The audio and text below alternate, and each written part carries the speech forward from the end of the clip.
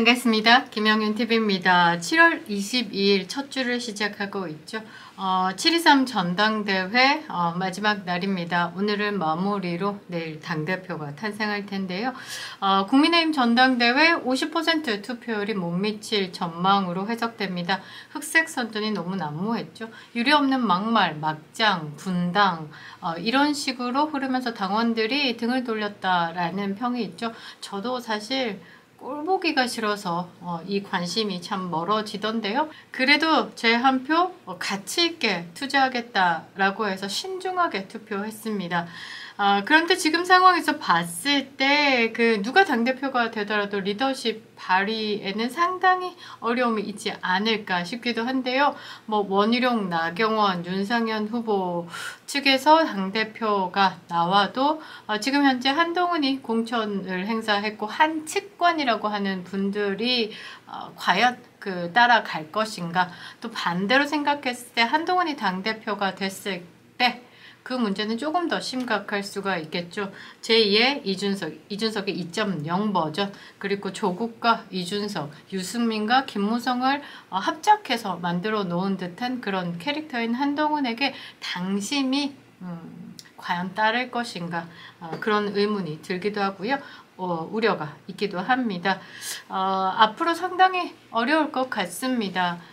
정치에 관심이 없으신 분들도 전당대회를 보면서 어, 대충 파악을 할 수밖에 없었을 거고 지난 총선을 이끄는 그 한동훈의 어, 리더십 어, 바닥난 리더십을 보면서도 어, 당대표가 됐을 때 굉장히 많은 분란을 어, 일고 가겠구나라는 생각을 하실 수 있었을 겁니다. 국민의힘은 21일까지 전당대회 3일차 투표율이 그 모바일 19일, 어, 20일 동안 그 당원들을 상대로 한 모바일 투표율과 어, 그 다음에 ARS 일반 국민들을 상대로 한 투표율 합산이 45.98%로 집계됐습니다.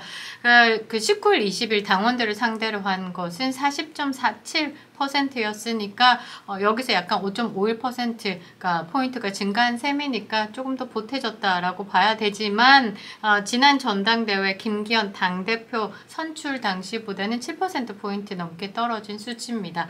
그만큼 해석이 다양한데요.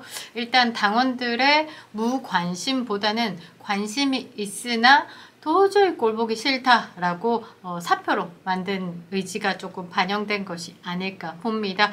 아, 그래서 해석을 했을 때 오늘 22일까지 ARS 투표 실시 마감이 어, 과반을 못 미칠 것이다 라고 볼 수밖에 없는데요. 그게 굉장히 지배적이죠. 왜냐하면 22일까지 그 ARS 투표율이 치고 올라올까를 보면 지난 어, 1, 2, 3차 전당대회 때만 봐도 9% 10%대로 10%를 넘지를 않았으니까 지금 현재 집계되는 부분이 어, 그런 계산이 가능하다라는 거죠. 어, 당초에 나경원, 원희룡, 윤상현, 아 한동훈까지 이번 전당대회는 무의미한 민주당의 그 이재명의 연임보다는 굉장히 흥행할 것이다 라고 생각을 하고 아, 기대를 많이 모았었죠. 그러나 결과는 개판 5분 전입니다. 어, 초반에 잃었던 그 한동훈의 김건희 여사의 문자, 1심 논란, 한동훈을 싸고 있던 그 베일들이 벗겨지면서 어, 이거는 아닌데 실망감이 나오기도 했고요. 아, 이렇게 문자 공개가 되면서 지지자들 간의 난투극 또한 있었습니다. 급기야 막판에는요 한동훈 후보와 나경원 후보 간의 패스트트랙 어, 공소 취소 청탁에 대해서 나경원이 개인적으로 부정 청탁을 한 것처럼 몰고 갔던 부분에 대해서 역풍이 굉장히 많이 불었죠. 당원들이 등 많이 돌렸습니다. 그리고 퇴퇴퇴 한동훈만큼은 되면 안 되겠다라고 결집을 하기 시작했죠. 어, 그리고 뭐 여러 관계자들의 이야기를 들어보면요. 다시는 안 볼 사람처럼 어, 막장으로 싸우는 모습 보니까 정말 한심하고 투표할 마음이 안 생긴다라고 하는데 어, 이거 문제가 좀 있습니다. 그리고 어, 한동훈 후보 측에서는 조금 문제에 대한 인식을 했는지 부랴부랴 어, 내용에 대해서 또 왜곡적으로 퍼뜨리고 있는 부분 참으로 억지 논란에 대해서 좀 웃음이 나올 수밖에 없는데요. 어느 방송에서 회견 논리를 만들어서 유포를 하고 있습니다. 나경원 후보와 어, 한동훈 후보 간의 패스트 트랙 공소 취소권에 대해서 나경원 후보가 어, 대기실에서부터 많이 우셨다라고 하더라고요. 이렇게 모욕적일 수가 없었다. 개인적인 청탁이 아니라 함께한 민주당 의원과 포함돼서 27명이 있었죠. 이 부분에 대해서 악법에 투쟁한 부분에 대해서 전체적으로 공소에 대해서 조금 고민해 달라라는 취지로 이야기를 했습니다. 자유한국당 포함해서 27명이고요. 보좌진도 한 명이 계시고요. 약식 명령 청구를 받으신 분 의원들이 10명이 넘습니다. 악법에 어, 대처했던 부분 그리고 악법에 우리가 투쟁했던 것에 대해서 법무부 장관으로서 법을 다시 볼 필요가 있다. 그 검찰의 해석을 다시 볼 필요가 있다라고 했던 것을 마치 본인의 부정 청탁을 한 것처럼 이야기. 그래서 토론의 과정 중에서 어, 네, 네, 그렇다고요? 어떻게 이러면서 목소리를 어, 높이시기도 했었는데요. 그 부분에 대해서 한 측관 쪽에서 어, 수습하게 나섰는데 뭐라고 하냐면 패스트 트랙과 관련해 본인이 청탁을 하면 상관없지만 제3자가 청탁을 하면 법에 저촉된다. 그래서 한동훈 후보가 네 네, 네, 개인적인 청탁을 하셨고요. 라고 나경원 의원을 모욕한 것은 일곱 번이나 했음에도 불구하고 이것은 한동훈이 나경원 의원을 보호해 준 것이다 라고 어, 지금 한동훈 어, 지지자들 한 측관들은 지금 정신 승리를 하고 있는데요.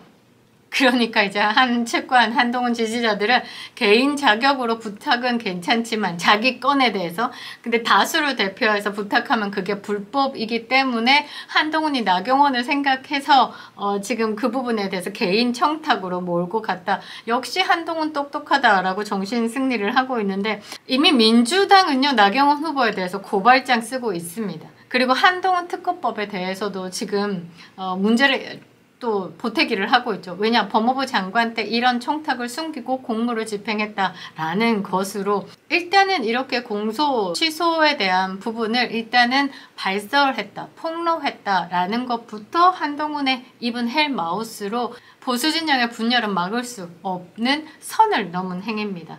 정말 어, 좀 불안불안하기도 했었는데요. 이제는 선을 넘었다. 이제는 막장으로 간다. 이제는 뒤돌아볼 수 없습니다.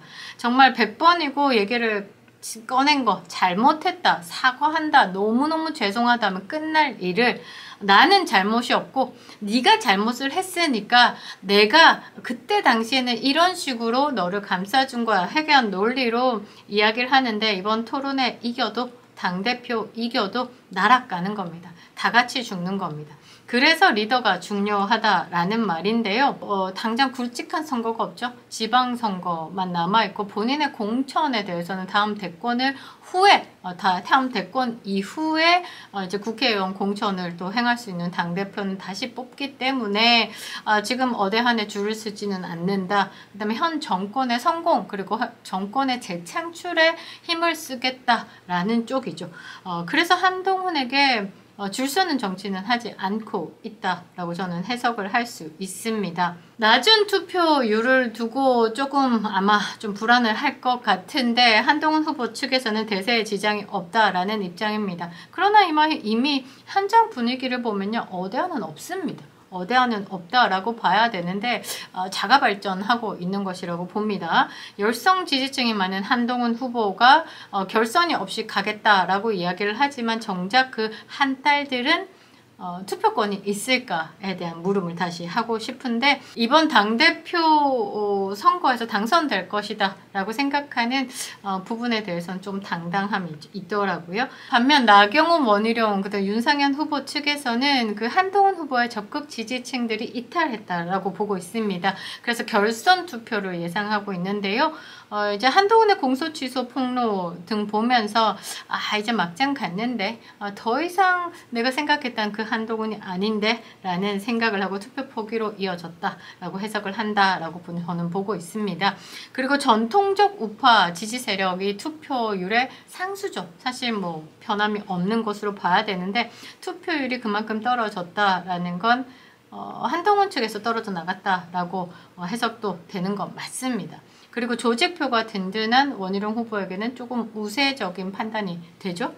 한동훈은 지금까지 쭉 과반 득표율로 1차에서 끝낸다라는 플랜을 잡고 있었던 터라 아, 이 부분이 조금 흔들리면 또 그 다음 스텝을 어떤 식으로 할지 궁금하기도 하는데 한동훈이 당대표가 되면 친윤계랑 또 맞붙어야 되는 부분이 있기 때문에 어, 이게 당심이 한동훈을 완벽히 밀어줘야 되는데 지금 뭐 우파 유튜버들만 봐도 한동훈을 적극 지지하지는 않습니다. 현재 상황에 대해서 굉장히 피로감을 토할 뿐이죠. 그래서 한동훈은 앞으로 이 치명타를 입고 갈 수 있을까에 대한 고민을 좀 많이 해야 될 것으로 보고요. 상당히 휴증 있을 거라고 보고 있습니다. 한동훈에 대해서 연일 폭로를 하고 있으신 홍준표 대구시장도 레벨이 꽤 높은 어, 비난의 수위로 한동훈을 공격했죠. 소시오패스 라고까지도 했습니다. 그리고 철없는 정치 검사의 난동이 그만되어야 한다라면서 어, 이야기들을 했는데요. 어, 저는 좀 그렇습니다. 이제 원희룡 후보가 한동훈에게 민주당 당원이냐라고 물어봤던 건 어, 김어준의 적극 지지를 받고 있는 부분. 그리고 민주당의 최고위원 후보로 나온 정봉주가 한동훈을 지지한다라고 했던 것 이것은 뭐 협치와 소통을 이야기하는 것보다 우리는 동색이에요 라고 이야기를 하는 것과 어, 같지 않을까. 그래서 걱정이 되기도 하는데요. 한동훈이 그동안의 후보 토론회에서 박근혜 대통령의 기소가 정당했다. 검사로서 어, 직무를 한 것이다. 그러나 인간적으로는 죄송하다라고 했지만 그 묵시적 청탁이라는 부분에 대해서 조금 고민을 해야 됩니다. 어, 묵시적 청탁. 말도 안 했는데 어떻게 텔레파시로 청탁을 어, 받아서 이재용 회장과 최서원 씨, 최순실 씨죠. 박근혜 대통령 이렇게 3세트가 어, 초능력으로 청탁을 서로 주고 받았다라는 억지 주장 그리고 새로운 용어를 꺼내면서 어, 박근혜 대통령에게 35년을 구형하고 1185억의 어, 이제 벌금을 부과하면서 징역에 대해서 목소리를 높였었죠. 그때 당시 하, 그 내용을 보면 참 정말 어, 소위 말해서 어떻게 어, 묵시적인 청탁이 있을 수 있나 공동체 안에서 어, 저는 그게 참 그렇고요. 어, 묵시적 청탁으로 어, 뇌물이 오갔다라는 억지를 한다는 것 그거 자체가 너무 억울한데 어, 끝까지 기소가 정당했다라고 했었습니다. 그러나 어, 박 대통령 무죄가 났죠. 그리고 무리하게 검사하면서 많은 분들이 기소가 됐습니다. 한 1000명 이상 어, 몰아서 화양연화, 한동훈의 화양연화 시절에 그리고 200명을 기소했고요. 그 중에 5명이 극단적인 선택을 하기도 했습니다. 그러고 마지막에는 어, 무죄가 나기도 했었죠. 이런 걸 보면 어디서부터 계획된 건가라는 생각에 조금 안타깝기도 한데요. 결국은 입으로 흥한 자 입으로 망한다라고 생각합니다. 어, 한동훈 후보 입이 헬마우스죠. 입이 모든 리스크를 안고 있는 거다. 전날이죠. 21일에 유영하 의원이 윤석열 대통령이랑 싸우는 당대표가 탄생해서는 안 된다는 박근혜 전 대통령의 말씀을 전했습니다. 내전의 당사자로서 굉장히 많은 아픔을 겪으신 분께서 어, 지금의 상황을 보면서 무겁게 입을 떼신 것으로 보는데요. 결론은 한동훈은 안 된다라는 말씀을 하셨던 거고 TK, PK 지역의 한동훈의 지지에 대해서 어, 철회를 요청한다까지도 해석이 가능한 거죠. 국민의 눈높이를 이야기하는 한동훈, 한동훈은 어, 본인의 특검에 대해서 준비를 하는 것이 어, 맞다라고 보고요. 저는 특별검사로 우병우 우병우 변호사를 추천합니다. 김영현 TV였습니다.